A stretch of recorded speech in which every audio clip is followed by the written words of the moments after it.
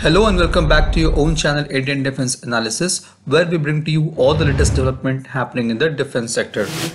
It has been long since we have talked about the upgrades and various progress which has been recently made across the LAC to counter the Chinese PLA army. Through our series of fortification of LAC, we keep informing you about Indian military preparedness. With this note, let's start our seventh episode of fortification of LAC. Now, before we talk further, I want to share the pictures of the other side of LAC, that is Chinese side of LAC. The reason for sharing this picture is to compare how Indian army treats its soldiers and how PLA army treats them. You might have seen the amazing technologies from drone to air conditioned room to hot meals and even lip balm supplied to PLA army across LAC.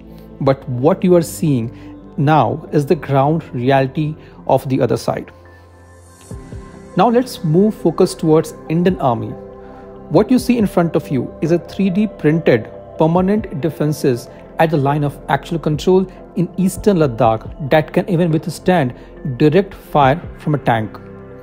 Indian Army's engineer in chief Lieutenant General Harpal Singh said that the permanent defenses are able to withstand blasts and can be erected within 36 to 48 hours and relocated from one place to another.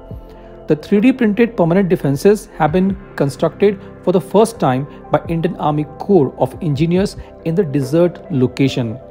These defenses were trial tested against a range of weapons from small arms to the main gun of T-90 tank. A 3D printed shelter for officers and junior commissioned officers has been constructed in desert sector and four more such double story shelters are also being constructed in the eastern theater at Zuluk. Each shelter can accommodate 64 personnel and construction will take just 25 days. Now last year in winter, Indian Army had built barrel type shelters and fast erectable modular shelters FEMS at forward locations near the line of actual control in Ladakh.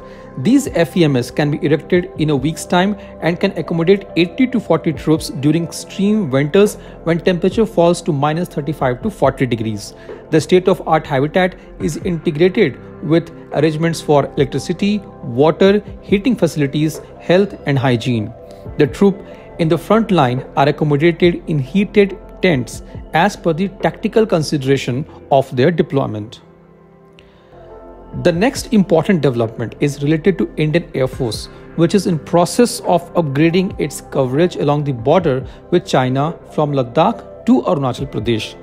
The mountainous northern and northeastern frontier gives easy passage to low-flying objects such as helicopters, UAVs, and even fighter jets as the radar signals are obstructed. Therefore, Air Force is moving ahead with rupees 10,000 crore plan to further enhance the capability to monitor activities across the line of actual control.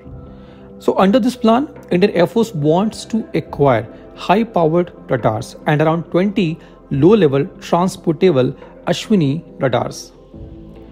Talking about Ashwini radar, they are also known as low-level transportable radar or LLTR. It is a rotating active phased array multifunction 4D radar capable of automatic detection and tracking of aerial targets ranging from fighter jets to slow moving targets. The system has been instrumented for a range of 200 kilometers and is able to detect 2 square meter RCS from a range of 150 kilometers with altitude covering from 30 meters to 15 kilometers. The radar operates either in steering or rotation mode. In rotation mode, the antenna rotates at 7.5 to 15 rotation per minute with surveillance coverage of 360 degrees in azimuth and 40 degrees in elevation. In a steering mode of operation, the antenna steers in a specified azimuth with surveillance coverage of plus minus 60 degree in azimuth and 40 degree in elevation. The radar is based on solid state active aperture phased array with digital beam forming and has electronic scanning capability in both azimuth and elevation.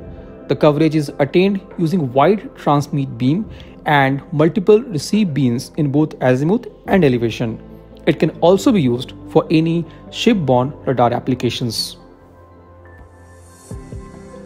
This was today's update. Please let us know your views on this in comment section. If you like the video, do not forget to like, share and subscribe. With this, I would like to say goodbye and Jai Hind. We'll soon back with more interesting and amazing development happening in the defense sector.